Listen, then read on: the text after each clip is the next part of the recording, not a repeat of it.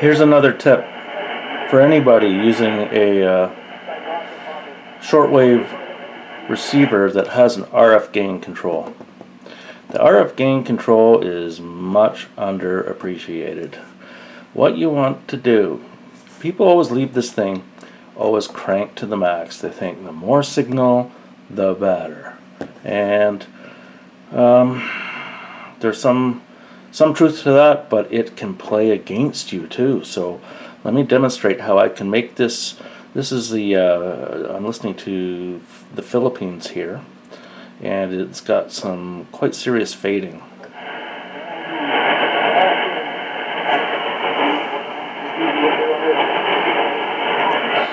You can hear the AGC of the receiver causing that pumping sound as the signal comes in strong, then weak, then strong, then weak. So you can use the RF gain control. If you back this off, I'll show you the sweet spot.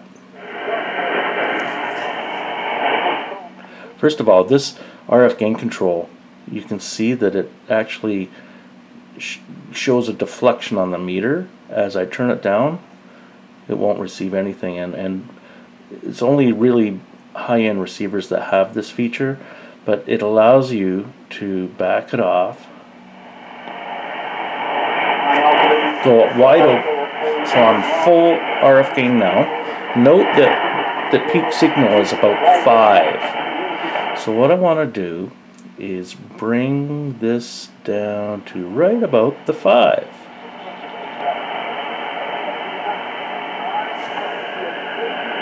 now listen to the radio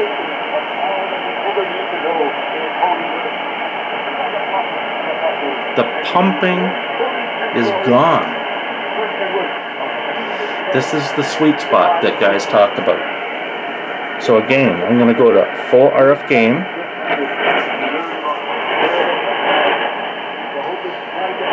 That is much harder to listen to.